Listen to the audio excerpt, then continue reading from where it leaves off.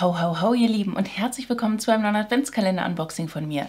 Mein Name ist Santa Claudi und ich begrüße dich ganz, ganz herzlich in meiner Welt. Heute werfen wir einen Blick in den Maybelline 24 Tage Adventskalender. Und wenn du Bock drauf hast, zu erfahren, was sich hier drin verbirgt, dann hol dir was zu essen, hol dir was zu trinken, lehn dich zurück, genieß die Show und viel Spaß mit dem Video. 54,95 habe ich dafür hingelegt. Ich weiß nicht, ob der teurer geworden ist als letztes Jahr. Muss ich nochmal recherchieren. Ich finde ihn optisch auf jeden Fall wunderschön. Ich setze euch dazu den Link in die Infobox. Also ich habe den gekauft bei Zalando. Und ähm, ja, also das ist, es gibt verschiedene Varianten. Es gibt einmal den pinken mit 24 Tagen. Es gibt den lilanen mit äh, 31 Tagen. Und safe wird es auch noch kleine geben. Wir haben hier so äh, einen Blick aus dem Flugzeug auf das verschneite Manhattan. Und es sieht wunderschön aus. Nein, es ist nicht Manhattan, es ist New York. Oder ist es doch Manhattan? Man weiß es nicht. Ist der Schuber entfernt, sehen wir hier auch einen wunderschönen Adventskalender. Also den stellt man sich safe gerne hin. Wir haben einen Boxen-Adventskalender. Also es sieht schon schön aus, ne? Dann wollen wir mal starten. Hier habe ich den 1. Dezember. Hier habe ich eine Mascara drin und zwar ist das ein Klassiker, The Colossal von Maybelline. Das ist einmal diese hier und äh, ja, also das ist eine schöne Mascara in der Originalgröße, finde ich klasse. Ich habe so ein paar Maybelline-Produkte von mir selber hier schon auf meinen Tisch gelegt und ich hoffe, dass wir hier bei dem einen oder anderen Büchslein auch unterschiedliche Produkte zu letztem Jahr entdecken dürfen. Das würde mich nämlich echt freuen, weil wenn man halt so Fan ist, dass man halt sowieso immer den Adventskalender kauft, möchte man ja auch so ein bisschen in die Neuheiten und in, die, in das breite Sortiment reinschnuppern. Und apropos reinschnuppern, wenn du ganz neu hier bist und gerade so in diesen Kanal reingeschnuppert hast, wäre es richtig cool, wenn du mich auf meiner Reise begleiten würdest und äh, mich abonnieren würdest. Also es würde mich echt von Herzen freuen. Wir haben gerade die 35.000 Grenze erreicht, also der Wahnsinn. Ich bedanke mich an also wirklich, also ich bedanke mich bei allen von euch. Ein Dank geht an alle von euch, die auf den Abonnier-Button geklickt haben und mich damit halt wirklich sehr, sehr unterstützen. Also richtig cool. Dann verpasst du halt auch kein weiteres Video von mir. Hier kommt mindestens eins pro Tag. Ja, bin ich etwas eskalativ. Gut, hier habe ich auf jeden Fall den 2. Dezember und äh, da geht dann die Weihnachtsreise weiter mit einem wunderschönen Lippen, äh, Nagelprodukt. Es ist ein bisschen warm hier. Ähm, das ist in der Farbnuance Blanc Nacré Pearly White. Ja, das definitiv eine weiße Perle. Und ja, ich hoffe, dass wir hier auch ein paar Nagelprodukte, Lippenprodukte, Augenprodukte finden. Base-Produkt ist immer ein bisschen schwierig, aber so das ein oder andere. Ne? Also das ist definitiv auch sehr, sehr universell verwendbar. Und wenn du dir einfach nur so einen Nagel in der Farbe machst und den Rest irgendwie in Rot oder in Blau oder so. Selbstverständlich auch mit dabei ist die Nummer 3 und die ist sehr, sehr leicht. Das ist wahrscheinlich irgendwie so ein Augenprodukt, ne? Ja, oh, ich glaube, der ist neu, oder? Äh, Hyper Precise Matte ist das. Ein, ähm, ja, Eyeliner. Oh, ich liebe Eyeliner. Und das ist so ein richtig schöner Liquid Eyeliner. Da geht mir das Herz auf, ne? Muss ich wirklich sagen. Und da haben wir so einen Schwämmchen-Applikator. Ach, das ist cool. Ich habe nämlich äh, jetzt aktuell nur einen blauen von Maybelline. Jetzt habe ich auf jeden Fall auch noch einen schwarzen. Hier haben wir die Nummer 4. Also ich muss gestehen, von der Qualität her ist dieser Adventskalender oder von der Verpackung her so ein bisschen aktuell Revolution-Style. Ne? Also das ist nicht mehr so hochwertig, wie sich das sonst irgendwie angefühlt hat. Wobei letztes Jahr war das ja, glaube ich, auch eh einer zum Liegen. Oh, wow. Wir haben hier einen äh, Maybelline Fit Me Luminous and Smooth Hydrating Primer in der Originalgröße. Das ist ja wohl mal richtig geil. Also so ein Primer in Adventskalender reinzupacken, finde ich persönlich immer super. Da kann wirklich, da können viele was mit anfangen. Ich habe den selber auch da. Ähm, da kann ich euch ja mal zeigen, wie das so aussieht, wenn man sich da was von drauf macht. Also auf die Hand einfach jetzt, ne? Der kommt einfach so ja, weiß raus, wie so eine Creme und dann verteilt man den und der ist eher feuchtigkeitsspendend als glitzernd. Also du hast ja jetzt ne, diesen Glanz eher so durch das Produkt selber, also durch die Inhaltsstoffe quasi riecht soweit nach Creme. Also ich finde den auch sehr, sehr angenehm. Das war ein Reim. Und ähm, ich finde das klasse. Also sowas ist, glaube ich, auch ein Allrounder-Primer für sehr, sehr viele Hauttypen geeignet. Mega. Am 5. Dezember sind wir jetzt nun angekommen, ein Tag von Nikolaus. Ich weiß gar nicht, also ich, jedes Mal aufs Neue frage ich mich, ne, welcher Adventskalender ist jetzt für welches Land konzipiert und ist jetzt die 6 dann auch wirklich Nikolaus und die 5 ist irgendwie dann normaler Tag? Ich glaube schon, weil hier haben wir einfach einen Pinsel drin. Den habe ich noch aus dem letzten Adventskalender, der ist richtig toll, so ein Katzenzungenpinsel. Den habe ich aber letztens erst verwendet, den habe ich jetzt gerade hier nicht auf dem Tisch liegen.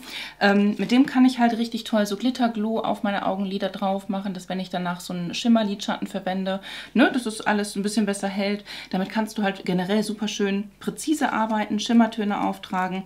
Ein toller Pinsel und ich mag es auch, wenn wir so das ein oder andere Tool hier drin finden. Ich glaube nicht, dass Maybelline solche Pinsel bei sich im Standardsortiment drin hat. Habe ich bislang noch nicht gesehen. Aber im Adventskalender finde ich das ganz gut aufgehoben. Ne? Der fällt mir hier gleich um.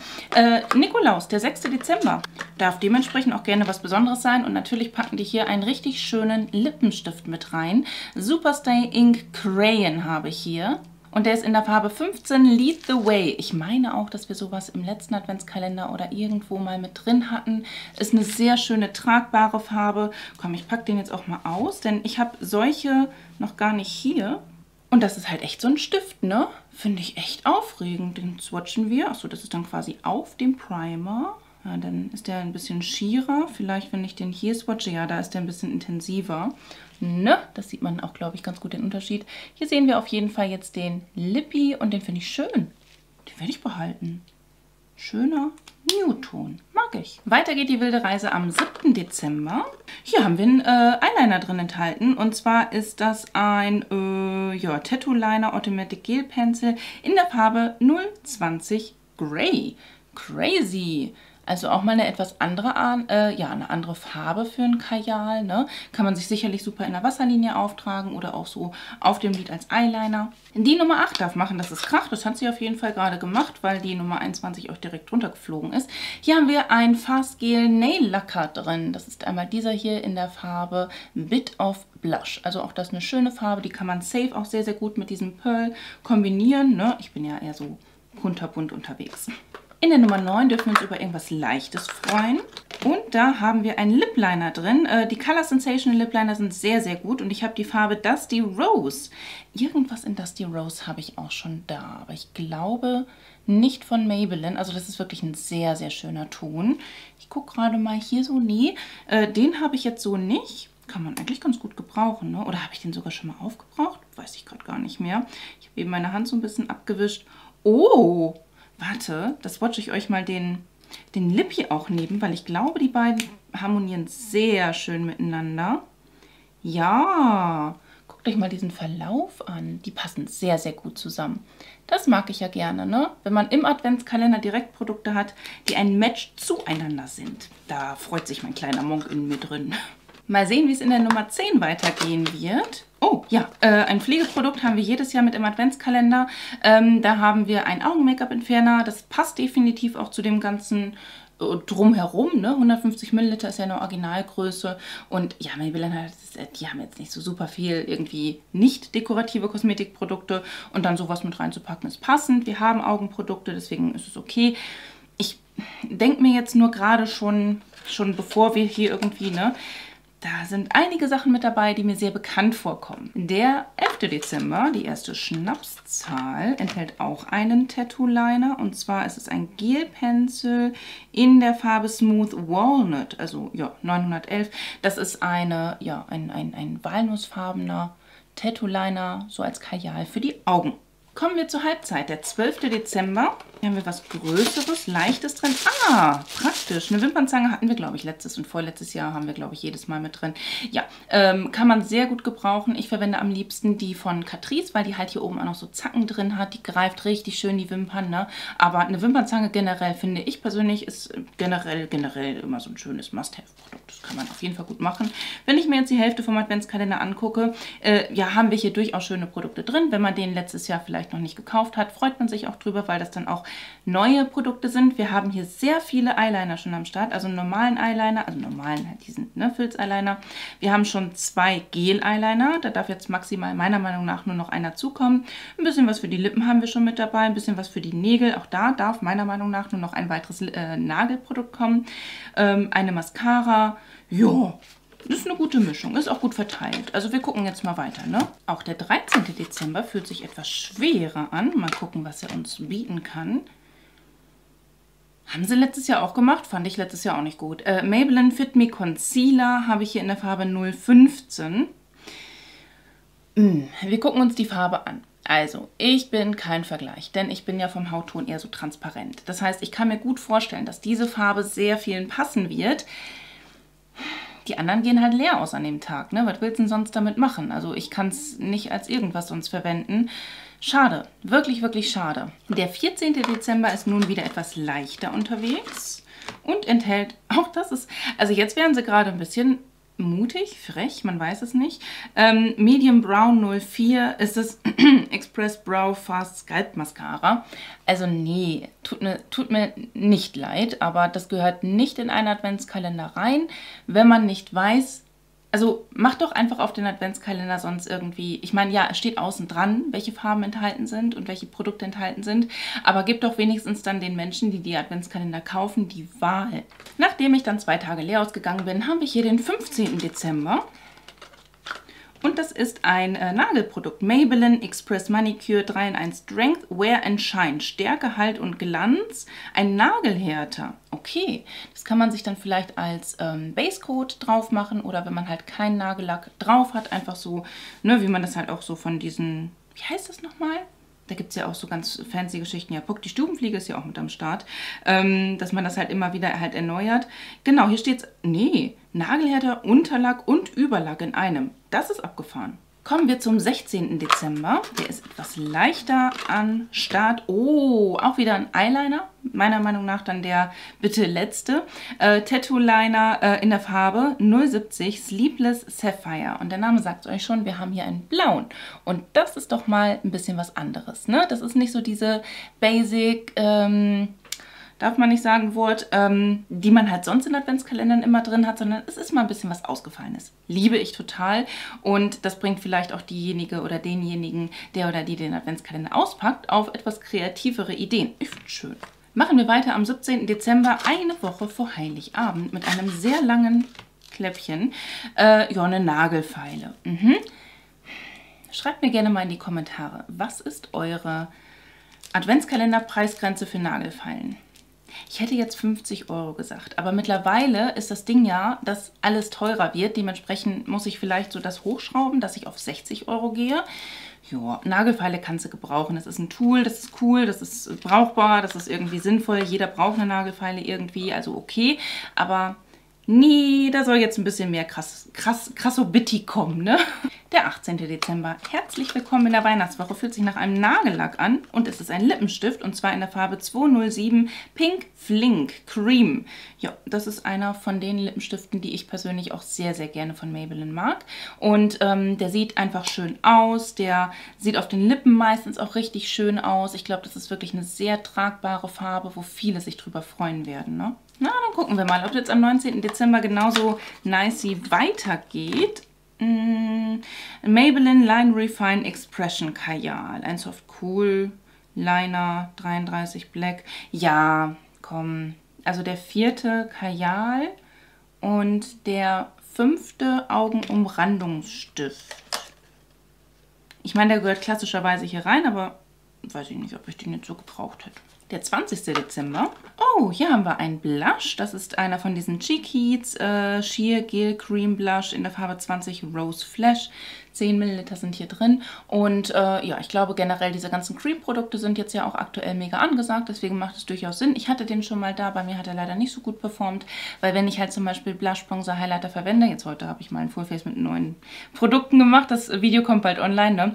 Ähm, dann ist es halt immer so eine Sache, den habe ich halt nicht so wirklich gesehen. Aber für ein Alter kann ich mir den sehr schön vorstellen. Der 21. Dezember fühlt sich sehr schwer an. Und dann gucken wir mal, wie der uns beglücken kann. Mit einem klassisch roten Nagellack, Superstays, äh, Forever Strong 7 Days. Das ist die Farbe äh, Cherry Sin 501. Ein schönes Kirschrot. Ich glaube, da freuen sich viele drüber. Gehört auch in den Adventskalender mit rein. Aber jetzt muss auch mal so langsam gut sein. Und das war ein Reim, denn wir haben schon vier Nagelprodukte. Gut, es sind drei Farbprodukte und ein Base- und Topcoat. Deswegen, ne, das passt. Das ist für mich jetzt, Buch ist zu. Mehr brauche ich nicht. Maybelline hat ja nicht nur Kajalstifte und Nagelprodukte. Ne? Die sollen mal sich hier ein bisschen besser mit dem Adventskalender repräsentieren. Die Nummer 22, zwei Tage vor Heiligabend und die zweite und letzte Schnapszahl ist nun am Start. Und hier haben wir ein Spoolie drin. Brauche ich, mag ich, finde ich toll. Aber wir haben jetzt hier ne, schon sehr viele Tools. Also mit dem Spoolie, dann haben wir den Katzenzungenpinsel, dann auch diese, diesen ähm, ja, Wimpernzange und auch die ähm, Nagelfeile. Reicht. Dann haut mal raus hier. 23. Dezember, ein Tag vor Heiligabend. Ne? Muss dann schon ein bisschen mehr kommen. Ja, einen Lip Liner haben wir jetzt hier mit dabei. Das ist der Color Sensational in der Farbe Sweet Pink 132. Mm, das ist äh, einer von denen, die ich persönlich leider nicht so genial finde, weil die doch relativ hart sind. Ist aber eine schöne Farbe. Das kann man nicht anders sagen. Wird sicherlich auch sehr gut hier zu dem hier passen. Ne? Das heißt, wir haben halt ähm, beide Lip Liner und Lippenstift Kombinationsmöglichkeiten äh, hier mit dabei. Das ist gut. Das ist gut. Ja, und in der 24 wissen wir, glaube ich, alle, was drin ist, weil das stand vorne drauf. Und zwar, Trommelwirbel, befindet sich am 24. Dezember an Heiligabend nicht etwas anderes als die Sky High Mascara in Pink Air. Anhand dieser Mascara ist ja, glaube ich, der komplette Adventskalender designt worden. Ne? Ähm, ich mag sie gerne, sie ist sehr, sehr haltbar. Ich mag sie vor allem in der ähm, schwarzen Verpackung richtig gerne und die ist halt wirklich pink. Das ist keine schwarze Mascara, sondern es ist eine pinke Mascara, die man sich zum Beispiel an den unteren Wimpernkranz richtig toll geben kann, wenn man da Farbakzente setzen möchte. Ne? Das ist auf jeden Fall was abgefahren ist und ich finde es auch cool, bin ich ehrlich. Es passt sicherlich auch richtig gut looktechnisch hier mit dem Lip Liner und auch dem, ähm, äh, dem Lippy. Dann haben wir ja auch hier diese Rose Flash Geschichte von dem Blush her. Das ist richtig cool und auch dieser Nagellack passt da farblich ganz toll zu. Also das ist schon vom Konzept her gut überlegt. Und dann kommen wir auch direkt mal zum Fazit von dem Adventskalender. Äh, es sind ich sag mal ungefähr die Hälfte der Produkte, alte Bekannte, die wir vielleicht schon im letzten Jahr oder in den letzten Jahren erlebt haben. Ich finde auch, dass die Base-Produkte nicht ganz so schlau gewählt worden sind, dass die Zusammenstellung des Adventskalenders nicht so genial ist und ich glaube auch, dass sie das genau deswegen gemacht haben, weil die halt nochmal einen mit 31 Tagen ausgebracht haben. Der kostet nochmal 30 Euro mehr, glaube ich. Ich glaube, der war bei 89,99. Ne? Ähm, dann ist halt die Frage, lohnt sich der mehr? Ich weiß es noch nicht. Ich muss den selber noch auspacken, dann kann ich euch dazu was sagen. Aber ich persönlich bin von diesem Adventskalender, ganz ehrlich, so unter uns, nicht ganz so überzeugt. Also da wird es sicherlich dieses Jahr bessere geben. Ich finde, er fühlt sich super klapprig an. Ich finde, dass er nicht so geil bestückt ist, wie Maybelline es hätte machen können, weil die haben richtig gute Produkte im Sortiment. Mir fehlt da noch was. Wie seht ihr das? Schreibt das gerne mal in die Kommentare, da können wir einfach uns austauschen. Generell für 55 Euro ist das ein guter Adventskalender. Du hast ein tolles Preis-Leistungs-Verhältnis und wenn du jemandem einen Adventskalender schenken möchtest, wo du halt verschiedene ähm, Sektionen von Make-up abdecken möchtest, ist der eigentlich auch ganz gut geeignet. Achte aber darauf, dass diese Person vielleicht ein bisschen dunkler ist vom Hautton als ich, aber nur ein bisschen und dass diese Person vielleicht auch brünett ist, dass die Person auch alle Produkte vielleicht verwenden möchte und auch vielleicht mal Bock auf eine pinke Mascara hat. Ne? Sonst ist das vielleicht nicht ganz so geil vom Preis-Leistungs-Verhältnis her. Naja, Preise habe ich euch so oder so eingeblendet und ähm, schaut gerne auch für eine zweite Meinung bei Nicole von Chiquitas Place vorbei. Die lädt nämlich auch genau jetzt ihr Video hoch und ähm, ja, dann wäre es das hier gewesen. Wenn es dir gefallen hat, wäre ein Däumchen ein Träumchen. Ansonsten wünsche ich dir einen wunderschönen Tag, einen wunderschönen Abend. Fühl dich ganz doll gedrückt von mir. Lass es dir gut gehen und hoffentlich bis zum nächsten Mal. Ciao.